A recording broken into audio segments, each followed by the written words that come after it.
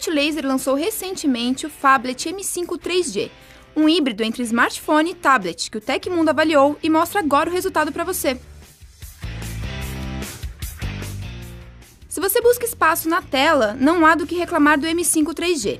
Ele oferece 5 polegadas, o suficiente para aproveitar bem a web, jogos e aplicativos diversos no seu aparelho. Além disso, ela responde bem aos toques, o que significa navegação sem grandes problemas. Por falar em navegação, este aparelho é capaz de realizar o básico sem dificuldade. Você usa redes sociais, YouTube e outros aplicativos do tipo, sem complicação.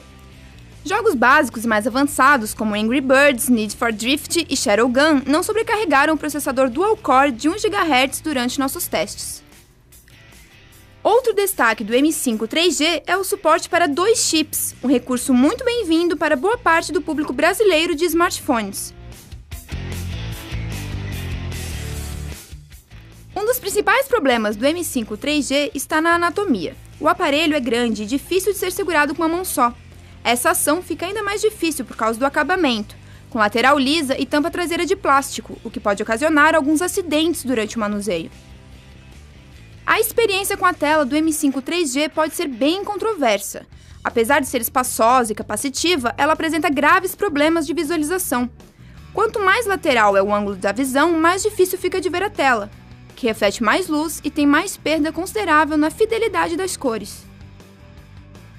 Além disso, o fato de reproduzir vídeos em apenas 480p, ou seja, nada de alta definição, é outra falha grave. O kit do aparelho é outra característica que deixa a desejar.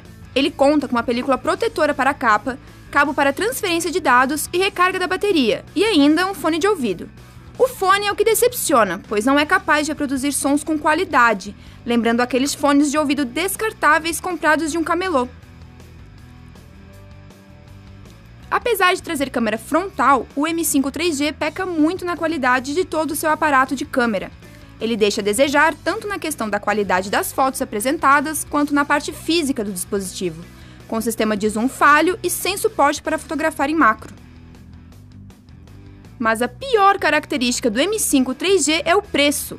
Ele tem valor sugerido de 900 reais, mas pode custar ainda mais dependendo de onde você procura. Isso coloca em uma faixa de preço semelhante a de aparelhos como Galaxy S2 e Xperia Arc S, dois smartphones com telas menores, mas configurações bem superiores à do M5 3G. Impressão que fica é que a única vantagem do M5 3G em relação a smartphones da mesma faixa de preço é somente o tamanho da tela. Se comparado com outros híbridos, como o Galaxy Note ou Optimus VU, o aparelho ganha no preço, mas perde em todas as demais características. Quando a comparação é feita com smartphones simples com valor próximo ao do M5 3G, o aparelho da Multilaser perde por oferecer menos desempenho, custando quase o mesmo preço.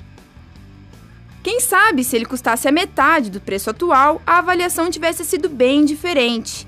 Mas você pode investir 900 reais em um aparelho bem mais capacitado do que este. Confira a análise completa no Tecmundo e até a próxima!